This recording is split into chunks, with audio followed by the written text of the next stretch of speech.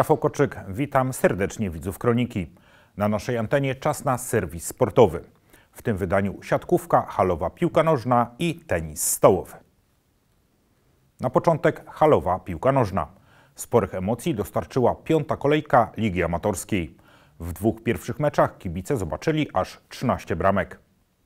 Po przerwie świąteczno-noworocznej wznowiła rozgrywki amatorska halowa Liga Piłki Nożnej. Poniedziałek 8 stycznia rozegrane zostały spotkania piątej kolejki. W pierwszym z nich rywalizowały piąty i ósmy zespół tabeli.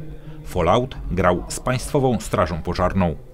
W pierwszych minutach to zespół w czarnych strojach, czyli Fallout, starał się prowadzić grę i budować akcję. Jednak to strażacy byli bliżej objęcia prowadzenia.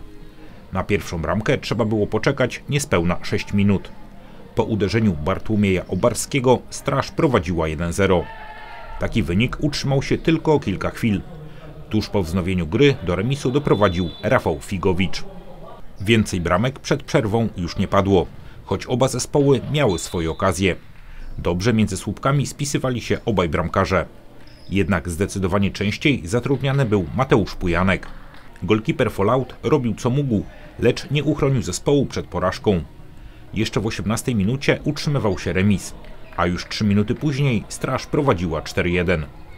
Na listę strzelców wpisali się kolejno Mateusz Pyrka, Wojciech Kondrat i Marcel Czubaj. Fallout także zagrali kilka akcji, które mogły zakończyć się golem, lecz zawodziła skuteczność.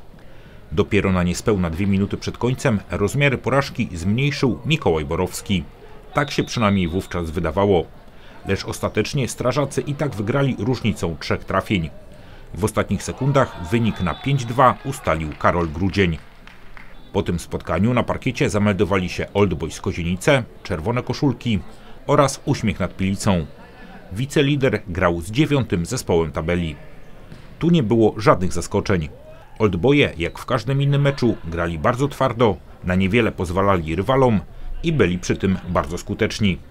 Dość szybko otworzyli wynik. W czwartej minucie do siatki trafił Jakub Gębczyk. Cztery minuty później, faulowany w polu karnym, był Oskar Domański. Piekielnie mocno uderzył Paweł Jasik i było 2-0. A równo z Syreną kończącą pierwszą połowę na listę strzelców wpisał się Bartosz Serafin. Losy rywalizacji wydawały się już przesądzone.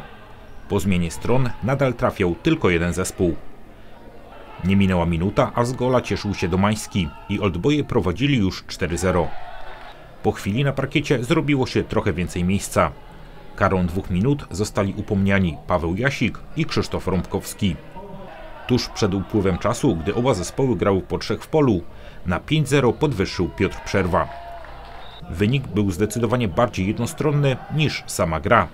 Uśmiech nad Pilicą mieli niejedną sytuację, lecz znakomicie między słupkami prezentował się Gerard Łodziński. Dzięki jego interwencjom Oldboje zmierzali po kolejny komplet punktów, a bramkarz robił wszystko, by po raz trzeci zachować czyste konto.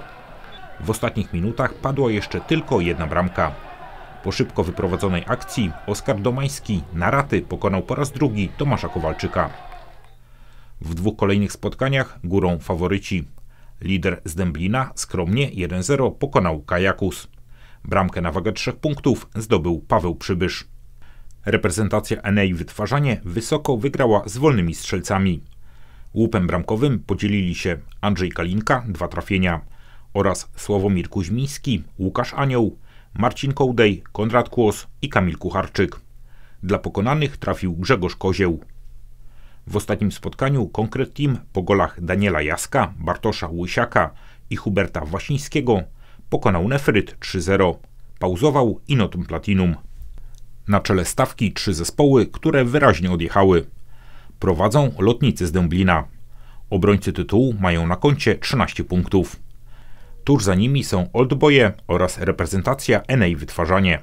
Ci pierwsi jako jedyni mają komplet oczek. Czwarte miejsce, premiowane grą w półfinale, obecnie zajmuje Konkret Team. Punkt mniej zgromadziły aż cztery zespoły. Tabele nadal zamykają wolni strzelcy. Jak na razie same porażki na koncie. Rozgrywki wróciły tylko na chwilę, bo teraz zespoły czeka przerwa feryjna. Szósta kolejka zostanie rozegrana w poniedziałek 29 stycznia. Na początek Enea Wytwarzanie zagra z Konkret Team. Następnie Kajakus zmierzy się z wolnymi strzelcami. Interesująco zapowiada się rywalizacja oldboyów z Lotniczą Akademią Wojskową, czyli powtórka ostatniego finału. Kolejne pary tworzą Straż i Uśmiech nad Pilicą oraz Inotum Platinum i Fallout. Pauzuje Nefryt. Czas na siatkówkę. Od wyraźnej porażki rozpoczęli granie w 2024 roku siatkarze Enei KKS-u Kozienice. Trzeba jednak dodać, że poprzeczkę mieli zawieszoną możliwie wysoko, bo grali na parkiecie lidera tabeli. Pierwszej wyjazdowej porażki w sezonie doznali siatkarze Enei KKS-u Kozienice. Pierwszym tegorocznym spotkaniu nasz zespół w meczu na szczycie drugiej ligi wyraźnie uległ liderowi Sparcie Grodzisk Mazowiecki. We wszystkich trzech setach zdecydowanie lepiej zagrali gospodarze, wygrywając partię kolejno do 15, 16 i 18. W trzech odsłonach rozstrzygnęły się także niemal wszystkie pozostałe mecze 14 kolejki. Metro pokonało na wyjeździe KS Błonie. Polkanex wygrał z Mosem, Wolej z Trójką, a Lechia uległa SMS-owi Spała. Niespodzianka w Wyszkowie. Kamper, choć przegrywał już 0-2, pokonał wyżej notowane Necko Augustów 3-2. W fotelu lidera umocniła się Sparta. Zespół z Grodziska Mazowieckiego ma 5 punktów przewagi nad Metrem i KKS-em. Stawkę zamykają KS Błonie 10 i druga drużyna z Tomaszowa Mazowieckiego 6 punktów.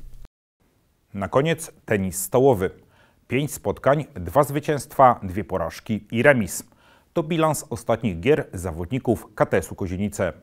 Drugoligowcy przegrali w Grodzisku Mazowieckim 2 do 8, a dzień później pokonali także na wyjeździe stołeczną Spójnię 6 do 4.